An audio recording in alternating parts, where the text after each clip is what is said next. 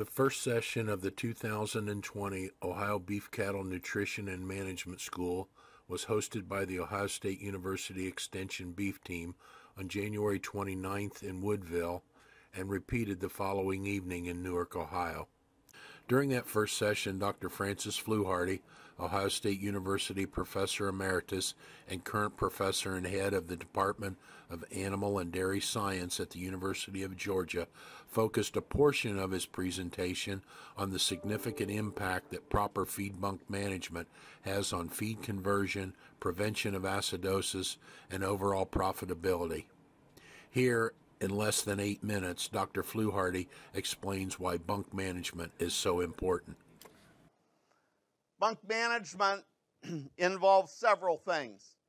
It involves increasing the frequency of feeding. It involves really gradual diet adaptations.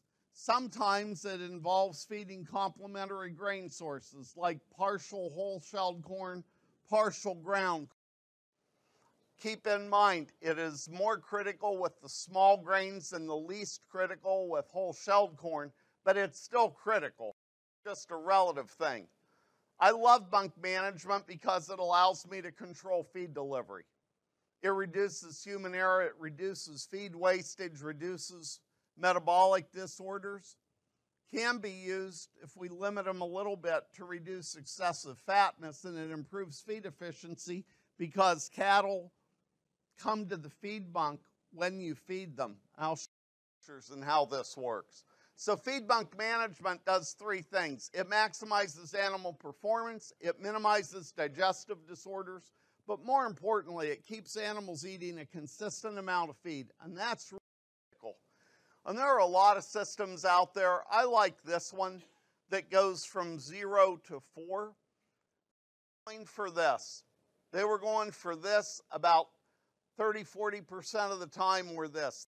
It's available. They were going for this. Now, let information. In this study, if it snowed or there was a weather event that caused that feed to get wet, they went out and they weighed back the feed in the lot B group and they replaced it with an equivalent amount of feed so that the feed wasn't just sitting there stale. Okay, this was a really intensive study from that standpoint. Here's what they found. Lot A, controlled intake versus Lot B there was no difference in feed intake over their 150 day feeding period. But average daily gain under the controlled situation was 3.76 pounds of feed per day versus 2.07. It took 5.38 pounds of feed to put on a pound of gay controlling intake, but in lot B it took 9.47. If you're marketing grain through cattle, would you rather be marketing in lot A or lot B? You better like A. Fewer pounds of feed per pound of gain. How can this be? With lot B, there is always feed available. How can that be bad? It doesn't make sense. Until you look at feed intake patterns. When I said if I had cattle that could eat the same intake all the time and I didn't have to adjust it, I would be really happy. It's because 80% of feed intake in ruminants total goes to maintenance. Only about 20% of our feed goes to actual gain.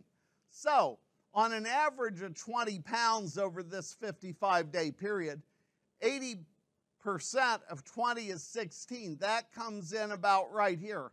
After those first four days getting on to feed, what percentage of days are they above 16 pounds? All of them.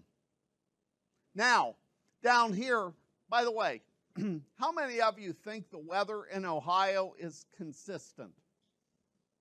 Okay. Huh? Consistently bad. You know, I love November in Ohio. I really miss November. Moving to Georgia, I miss not knowing whether it's going to be 70 or 30 from Tuesday to Wednesday. That really frustrates me. I'm getting used to sunshine, but the weather consistency is really troubling. Okay, here's what happens. On this day one, with plenty of feed, these steers thought it was Thanksgiving. There was more mashed potatoes there than they could hardly look at, but they ate everything. And the next day they had a bellyache. They were acidic. So they're not hungry that day. The problem is, here's maintenance requirements.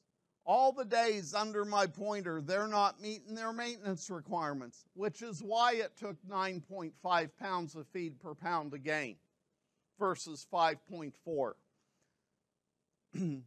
The goal is to keep consistent intake. Now, how many of you are from a large family? More than three brothers and sisters. Okay. For those of you who are from a large family, if you were the slow eater of the kids, were you the heaviest or the lightest? Yeah, you're the lightest. Same philosophy works with steers.